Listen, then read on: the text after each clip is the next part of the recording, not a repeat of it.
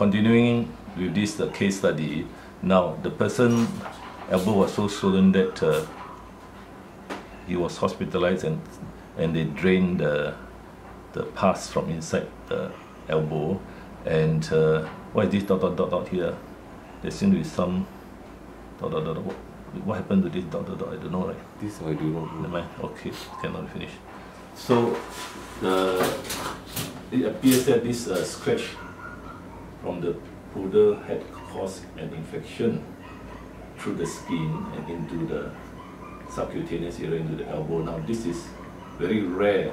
As I've been in practice for 40 years and I've not seen it, but then there are many things which are, are, are present which I, I haven't seen because there are so many uh, situations which differ. Now this, this person had diabetes, so it's possible that his infection, his immune system is low, and uh, one scratch only, the bacteria went under the skin capillaries to to localize onto his elbow area and cause an abscess. Now, as far as this dog is concerned, we, we will take a blood test, we'll check the temperature is okay, and the appetite is alright because she hasn't lost any weight. Now, whether the, the tumor is cancerous or not, was there histology done? So there was no histology done, so we won't know whether the breast tumor was cancerous or not. And sometimes on request from the owner, so I presume there was a request not to do it. So now the situation is whether this this dog's uh, males huh, will will affect the other members of the family, right? That's why you're worried, right? Apart from scratching, because this dog likes to pounce on on people. Huh? So from what I see, if, if the dog is, if the person is healthy, the immune system is good, then there should be no uh, worries. Even in cats, now there are cats who scratch people, huh?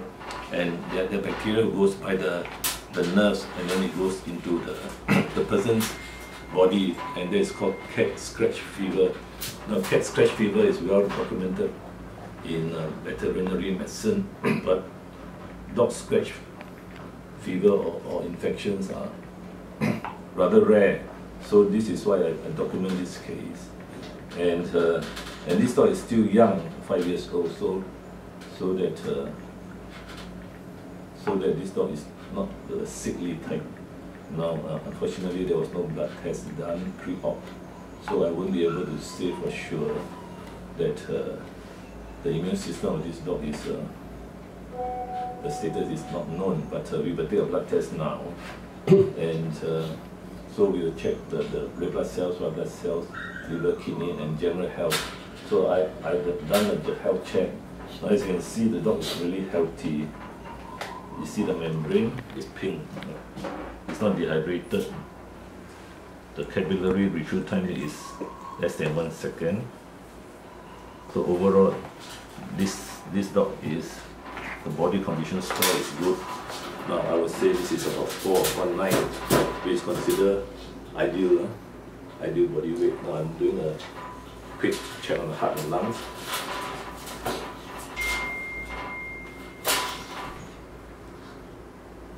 Heart is okay.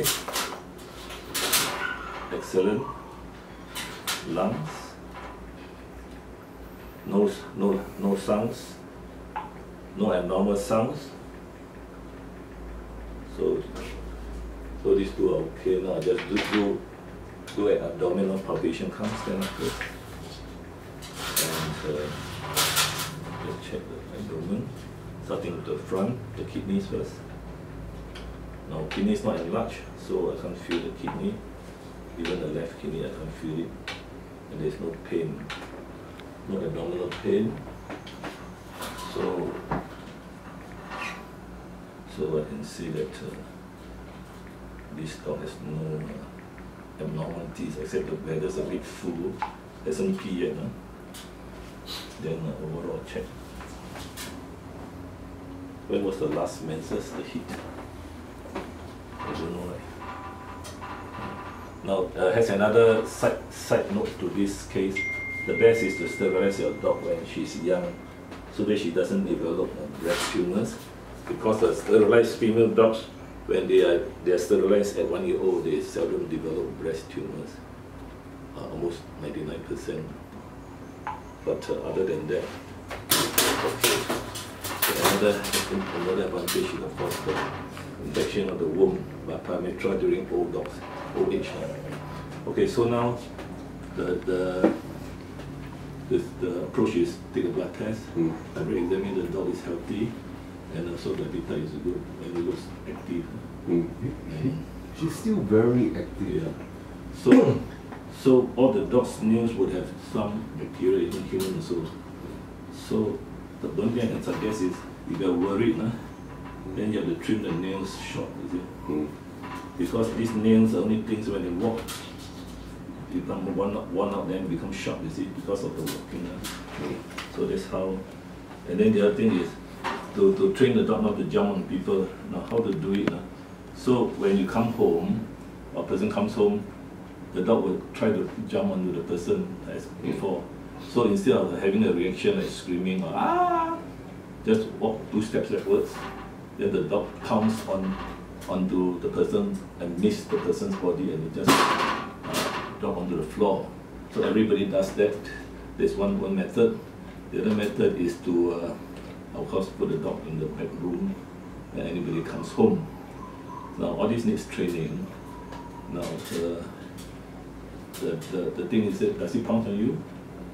You see some some dogs they, they pounce only on certain people, especially Okay. strangers. Yeah. Because I distance myself from them.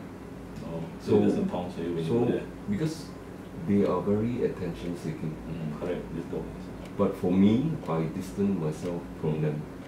Meaning that every time I come home, I totally ignore You know, them. ah, So correct, over time, you know, they do not no, no, come no. to me. Correct. But they have developed a very bad habit, which is whenever someone press on the doorbell or someone enters the door, Mm. this one will start barking very loudly. Mm, barking, yeah, Oh. that, is common.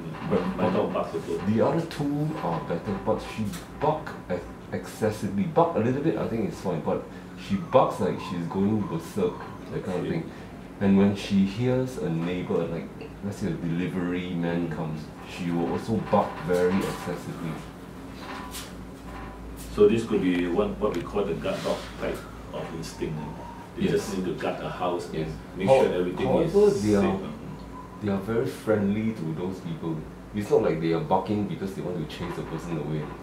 She's barking, but after the person come in, she wants to play with the person. She wants the person to touch them.